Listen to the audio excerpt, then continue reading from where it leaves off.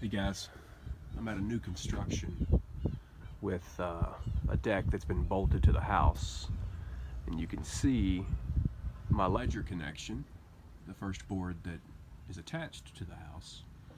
The builder left out the flashing. They didn't take the siding off. They basically just uh, bolted the deck on top of the siding on top of the house. Now, uh, what happens is water will run in behind the ledger board, get in the wall cavity where the bolts go through that are attaching it to the house. So if I come inside,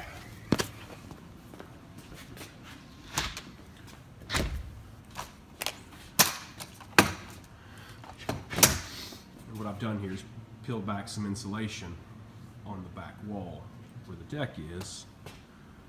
Take my handy Protimeter.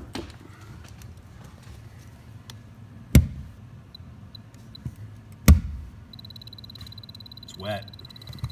It's Very wet. So